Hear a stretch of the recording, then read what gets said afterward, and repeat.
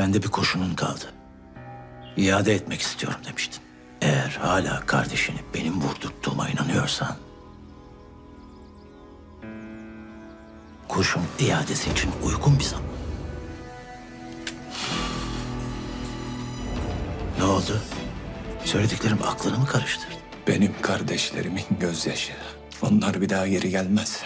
Yiğidin, Sunan'ın, yeğenimin ve doktorun. Buna bir açıklaman var mı?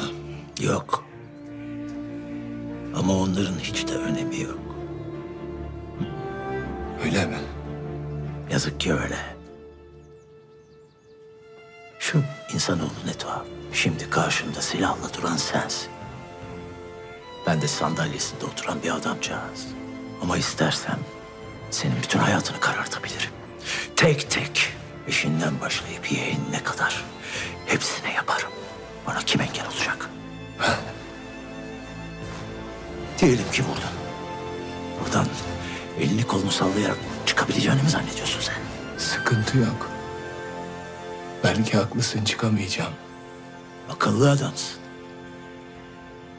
Ama Ama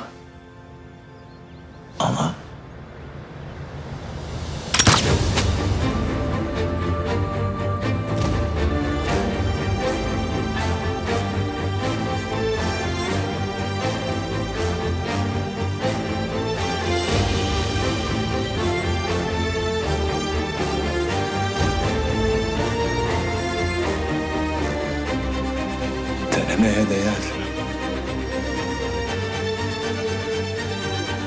Abi sen ne yaptın? Cesedimiz çıkar bizim buradan. Geride kalanlar rahat eder. Bir gururum kalmıştı. Onu da ayaklarının altına aldın. Bahri'ni mi aldattın el aleme? Allah seni kahretsin Namık. Sus artık.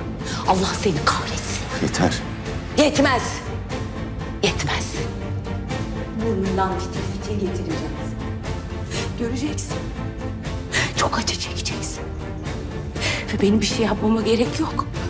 Ben hiçbir şey yapmayacağım. Sadece seyredeceğim. Paçavra gibi attın kadını. Boş mu duracak sanıyorsun? Ha? İntikamını almayacak mı sanıyorsun? Gidecek Ferhat'a. Senin baban Namık'mış diyecek. O zaman ne yapacaksın Namık? Ne yapacaksın?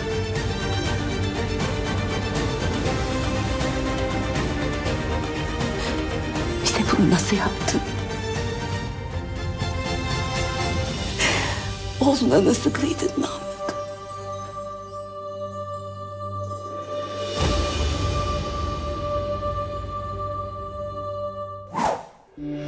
Yiğit babandan bahsetti. Berber Necdet'ten. Kimden bahsediyorsun? Aslı'dan. Ferhat'ın bütün dengesini bozan Aslı.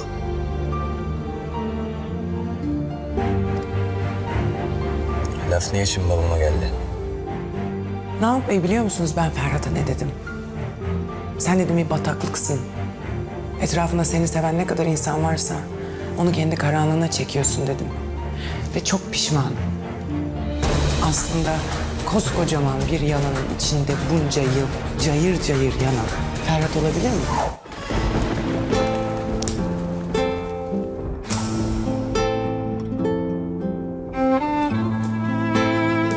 İnsanın çocuk yaşta babasını kaybetmesi ne demektir ben gayet iyi bilirim Ferhat. En az senin kadar çok sevdim ben de babamı. Her çocuk gibi. Babalar ağlamaz öyle biliriz ya. Ağlarmış ben o gün öğrendim. Dedim gideyim boynuna sarılayım. Yapamadım.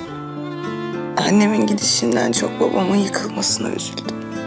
Keşke bana abime tutunacak bir dal, yaslanacak bir dal bıraksaydı.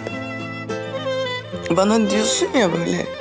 Sen yara sarmayı biliyorsun ama yara nedir bilmiyorsun doktor. Ben insanları yaralarından tanırım.